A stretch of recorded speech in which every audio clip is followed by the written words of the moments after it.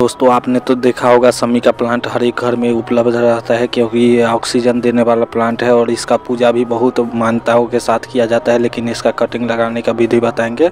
आप पूरा वीडियो अंत तक देखिएगा। अगर मेरे वीडियो पे पहली बार आए हैं तो ज़रूर सब्सक्राइब कर दें, क्योंकि सब्सक्राइब का पैसा नहीं लगता है और ऐसे भी सब्सक्राइब नहीं करते हैं और बताएँगे कैसे समी का कटिंग करना चाहिए। ये मेरे से नीचे से निकला हुआ समी का कटिंग है और इसमें दो कटिंग था मतलब छोटा छोटा बनाया हुआ कटिंग लाए थे मैंने दस रुपये में और उसे ही लगा दिया था और वो में से एक कटिंग मैंने ले लिया हूँ। देखिए कितना अच्छा कटिंग है। आपको इसके लिए आवश्यकता होगी रूटिंग हारमोन की और ये वाला कटिंग की और आपको आवश्यकता होगी कोई नाइफ की अच्छी वाली और एक ग्लास की आवश्यकता होगी। पीपी ग्लास जो होता है और इसे नाइफ को अच्छी तरह से डिस्टलाइज कर दे। मैं ऐसे ही लगा दिया हूँ क्योंकि मेरा नाइफ उतना गंदा नहीं रहता है और इसका सारा पत्ती रिमूव कर दे क्योंकि अभी गर्मी का मौसम चल रहा है। गर्मी का मौसम में रिमूव अगर नहीं कीजिएगा तो ये बर्न कर जाएगा और ये और भी सुखाने में कारगर हो जाएगा। और इसमें ऐसे तो फंगस उंगस नहीं लगेगा और इसे अच्छी तरह से कटिंग कर दे और अच्छी तरह से जितना अच्छी हो, उतना ही अच्छी तरह से कटिंग अच्छा ले ले और पूरा कटिंग एकदम ऊपर तक साफ़ कर दें और दो तीन कटिंग ले ले और दो तीन ग्लास में आप लगा दीजिएगा, जैसे मैं बताऊँगा।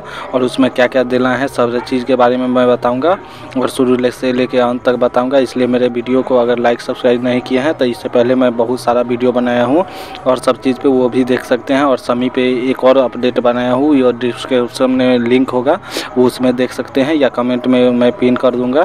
आप वो भी वीडियो देख सकते हैं, कैसे केयर करना चाहिए। और मेरा उसमें है, आज पानी उसमें दे दिया था, क्योंकि बहुत सूखने लगा था। पंद्रह दिन पे हम पानी दे देते हैं अपने प्लांट को, इसे 45 डिग्री एंगल पे काटिए। वो 45 डिग्री पे ही कटिंग करे उससे कम पे कीजिएगा तो वो ख़राब हो जाएगा और ख़राब होने का ज़्यादा चांस रहता है, इसलिए कटिंग अच्छी तरह से करें और नीचे भी कटिंग इतना अच्छा करें जो नाइफ का एकदम डिस्टेलाइज कर दें। हारमोन भी रख लीजिएगा, मैं तो वैसे रूटिंग हारमोन खरीदा था, वो भी बहुत अच्छा है और 2024 तक उसका एक्सपायरी डेट है। ऐसे आप देखिए, इसका अच्छी तरह से साफ़ कर दें। इसमें बहुत ज़्यादा कांटा होता है। कांटा से बचा के आप जो भी हो, ऊपर से नीचे तक कांटा हटा दे। कांटा जैसे ही आप हटा लीजिएगा, उसके बाद इसे अच्छी तरह से कटिंग कर दीजिएगा। 45 डिग्री पे ऊपर भी 45 डिग्री पे नीचे भी। अगर ऊपर वाला हो तो वो भी ऐसे 45 पे नहीं कीजिएगा। गोल भी कर सकते हैं। और एक डब्बा ले लीजिएगा। इसमें बर्मिंग का पोस्ट और मिट्टी भर दिया हूँ क्योंकि मिट्टी बहुत अच्छा है और ये वाला भी कर सकते हैं। अगर नहीं तो आपको पास गिलास हो या कोई भी पीपी गिलास हो, वो भी कर सकते हैं पीपी गिलास में। अगर रूटिंग हार्मोन नहीं है तो ये एलोवेरा जेल आप लगा सकते हैं। एलोवेरा जेल से भी बहुत अच्छा इसका ग्रोथ आ जाता है। और उसमें रूटिंग हो जाता है फंगस नहीं लगता है। ऐसे अगर एलोवेरा जेल है, ये देखिए मिट्टी है, ये बलुई मिट्टी है, बलुई मिट्टी में कुछ भी नहीं मिलाया हुआ है, इसलिए आपको कोई भी दिक्कत नहीं होगी। और उससे भी आप कटिंग लगा सकते हैं, अगर बलुई मिट्टी नहीं है, अगर सॉयल वाला गार्डनर सॉयल है तो वो भी आप लगा सकते हैं। और इसे बबल बंद कर दीजिएगा, पूरा बबल मतलब इसके अंदर नहीं जाना चाहिए। और देखिए मैं मिट्टी जो लिया हूँ, वो एक बर्मिंग कंपोस्ट वाला लिया हूँ। इसमें बर्मिंग कंपोस्ट इसमें छेद नीचे हो जाना चाहिए, क्योंकि छेदा जितना रहेगा, उससे पानी निकलने का जो भी सुविधा रहेगा, नहीं तो ज़्यादा पानी होने से एंटी फंगल हो जाएगा फंगस लग जाने से सूख जाता है। ज़्यादातर प्लांट फंगस के कारण ही गमला या कोई चीज़ में सूखता है। और देखिए एंटी फंगल कर दीजिए, उसके बाद ये लगा दीजिए। और जैसे ही इसमें मिट्टी भर दे कोई भी मिट्टी हो, मैं तो गार्डनर सॉइल ही भरता हूँ और गार्डनर सॉइल आप भर सकते हैं। और ये मैं एक गमला से निकाल के इसमें लगा दिया था और इसमें बहुत अच्छा सर्वाइव कर जाता है मेरा कटिंग आपको जैसा भी इसमें तीनों में से जो अच्छा लगे वैसा आप कटिंग ले सकते हैं। और ये कटिंग लगाने के लिए पूरा बबल अंदर तक कर दीजिए मतलब एक भी बबल नहीं रहना चाहिए। और इसमें मैंने तीनों कटिंग लगा दिया हूँ। उल्टा नहीं लगाइएगा, सीधा ही लगा सकते हैं। और सीधा जैसे ही कटिंग लगाइएगा तो वो सर्वाइव करने का रेट बहुत ज़्यादा रहता है। और ये देखिए कैसे कटिंग लगा दिया हूँ।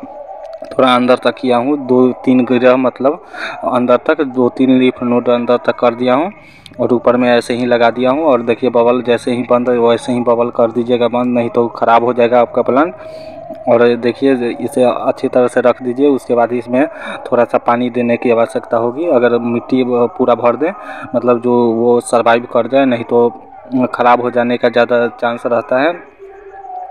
और आप ऐसे ही पूरा बंद कर दें और पूरा बबल मतलब बंद कर दें, मैं तो वैसे ही कर देता हूँ।